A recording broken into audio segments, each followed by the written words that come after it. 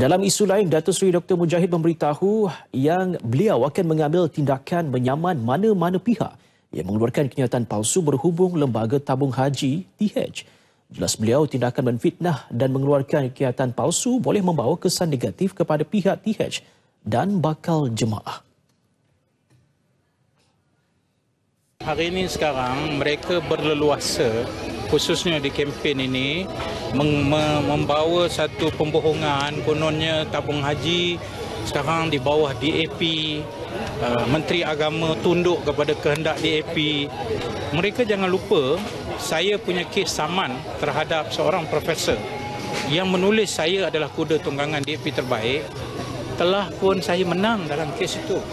Dan dia memohon maaf dan menarik balik. Artikel itu bermakna dari segi presiden court saya telah ada kekuatan untuk menutup mulut-mulut orang yang menyatakan uh, fakta yang palsu itu. Sebelum ini, tular dakwaan di laman sosial bahawa individu yang merayu atau pengiring mahram ke Tanah Suci tidak layak mendapat subsidi haji. Menurut Datuk Seri Dr. Mujahid, kerajaan tidak pernah mengeluarkan kenyataan berhubung penghapusan subsidi kos mengerjakan haji bagi bakal jemaah yang pergi atas tiket rayuan atau sebagai pengiring mahram.